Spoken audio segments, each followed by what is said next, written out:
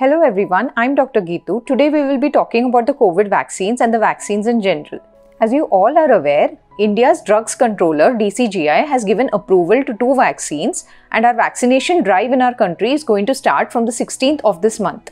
So the question that immediately comes to our mind is what vaccines are going to be administered to us during the vaccination drive? So two drug firms have been granted permission. One is the Covishield released by the Serum Institute of India and the other is the Bharat Biotech's Covaxin. Covishield has been developed by Oxford University scientists in collaboration with a pharmaceutical company called as AstraZeneca. In India, the Serum Institute of India have undertaken this trial and they are also involved in manufacturing of the vaccine which is going to be used in the mass vaccination program.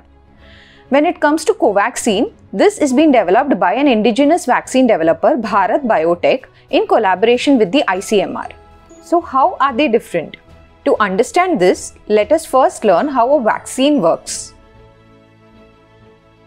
To understand how a vaccine works, let us take the example of the COVID 19 vaccine itself. We are introducing a part of the virus into the body in the form of the vaccine, against which our body develops antibodies. Now, at a later point, when we are exposed to the virus, the antibodies already produced by our body prevent us from contracting the infection.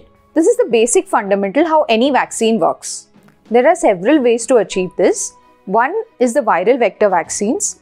Two common examples known to us are the Oxford AstraZeneca's Covishield and the Russian Sputnik V vaccine. So here they use the chimpanzee adenovirus which is the same virus that causes common cold in chimpanzees. However, it doesn't affect humans. This virus is used as a vector to introduce the genetic code or a sequence that codes for the viral particles. Once it enters the human body, it produces the virus particle against which the human body produces antibodies, which helps us in achieving immunity against the virus. Next is the whole cell inactivated viral vaccine. One common example known to us is the Bharat Biotech's Covaxin, where the virus is inactivated using some chemicals. Here, the virus itself is sent within the body against which the body produces antibodies and helps us fight against the virus. Next type are the mRNA vaccines, also called as the messenger RNA vaccines. The common examples are the Moderna and the Pfizer vaccine. So, the messenger RNA vaccine contains RNA, that is the genetic code, which provides a message to our human cells to produce viral particles.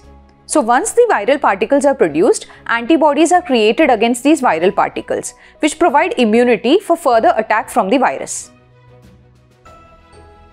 So the hot topic of discussion right now is the efficacy of a vaccine. So what is this efficacy? It is the effectiveness of a vaccine. So why is it so difficult for calculation? Because it is dealing with two areas. One is the efficacy of a vaccine to prevent the infection, and the other is the efficacy of a vaccine to prevent the disease. I will repeat it once again. The efficacy of a vaccine to prevent the infection and the efficacy of a vaccine to prevent the disease. They may sound similar, but they are different aspects. So, the difference is you may have the disease with mild, moderate, or severe symptoms, or you may be infected and still be asymptomatic. So let me explain this once again to you. You may have the disease with mild, moderate or severe symptoms or you may be infected staying asymptomatic. So because it has to deal with a broader aspect of areas, the calculation becomes complex.